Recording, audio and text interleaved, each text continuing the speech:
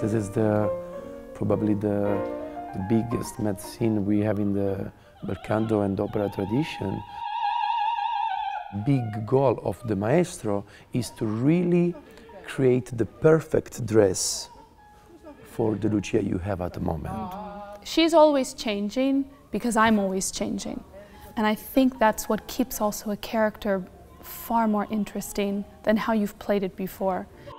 There are so many different ways to do, so many cadences you can use, and many times you can also build up uh, something new at the moment. And I like to play these characters as being far more real than just us viewing an opera or a play. Capito? Eh, so this is crazy.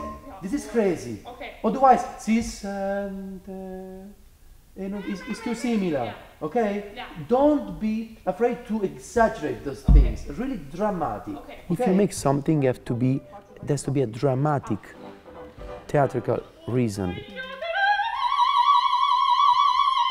I like doing that. We in theater, we call it emotional recall, so that it's more believable. Nadine and me, we never did Lucia together. I don't feel like this is our first. Yes, true. You know what I mean? Absolutely. It feels like we've done this Yes. somehow because we, we- before. yeah, exactly. Good. It's like to have a, a Ferrari and, and, and you just something like this. A Ferrari. Yes, a Ferrari. And, uh, Well, he's like Lamborghini of maestros. it's good, fine.